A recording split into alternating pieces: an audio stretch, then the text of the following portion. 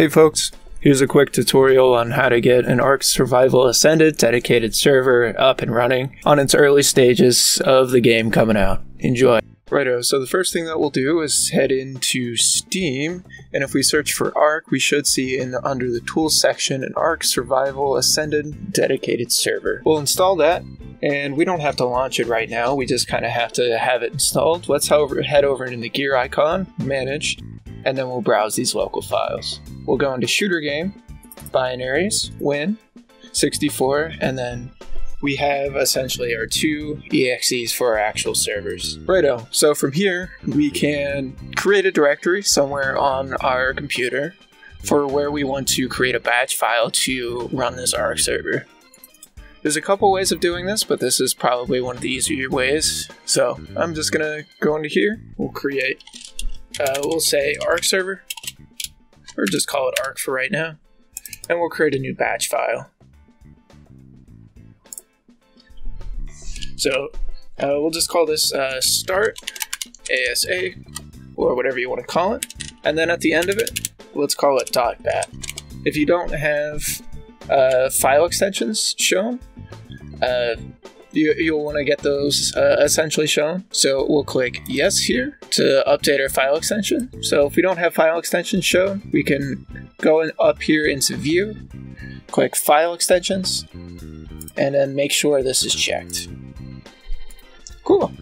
So we have that. Let's open it up in a text editor. I'm going to use Notepad, Notepad++ for this and I'll have this pasted down in the description. Copy and paste uh, this command line essentially for what we're for what we're working with. Uh, this first section, let's kind of break it down what it means. This first section is going to be our directory to our Ark Ascended server. So obviously, this first section is going to be a little bit different. It might be different down in the description. Just be sure to update that to this file directory, sorry, uh, to our Win64 directory where our Ark Ascended server.exe is. Cool.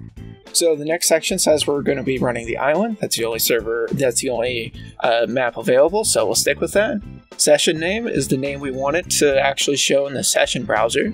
If we want a password protected, we can have this server password here. If we want to get re remove the password and not have that, we can completely remove this section admin server password is the same sort of deal. Uh, if you want to use admin commands, you can have this here. If you want to have them completely disabled, get rid of this as well as the question mark. Additionally, we can set our ports and query ports. Uh, it's highly recommended, just sort of in case you have multiple servers. Um, Ark Survival Ascendant doesn't really allow you to do allow you to have multiple servers with multiple Steam accounts or with a single Steam account, but it doesn't hurt to set the ports. So we'll set the ports. Additionally, if we want uh, to set our max player counts, we can do that here. This doesn't seem to actually work at this current moment, and uh, we can also set no BattlEye in case we want to as well. So we'll copy and paste that into our Ark Survival Ascended. Again, if we want to add a server password or anything like that, we can change it. Um, and we essentially update our names and our directory here um, as we need as we need to. Okay, so once we have that actually started, uh, we have to have Steam open. Otherwise, if we don't have Steam open, it'll open it for us. The way that Ark has done it this time in comparison to previously is that we need to have a version of Ark Survival Ascended already on our Steam account prior to actually running a server, so it's a little bit more limited in comparison to what it previously was.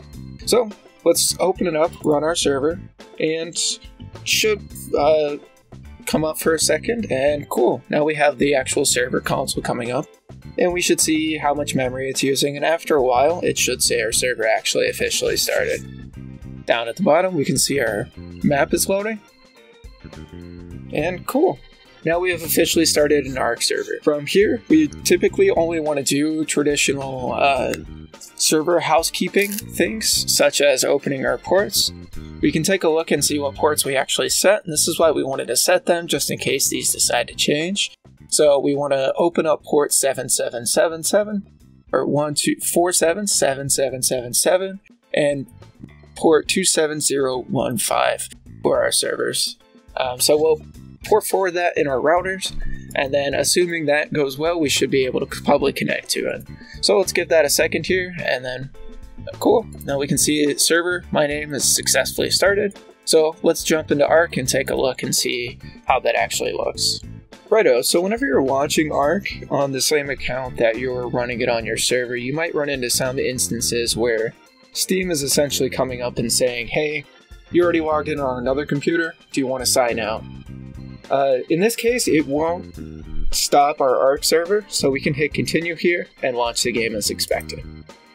Righto, so once we're loaded into Ark, we'll essentially go up into search and type in our name or the name of our server. In this case, it's called my name, or just what it is in the example. We'll search for it, and cool, here's our server. Click join, and looks like there's a password for it. We'll just hit accept, see what happens there.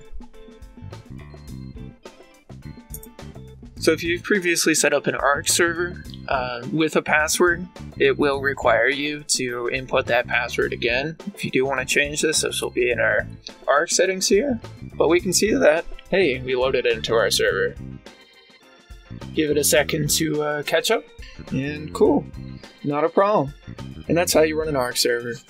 Cool, thanks for watching. Have a great one.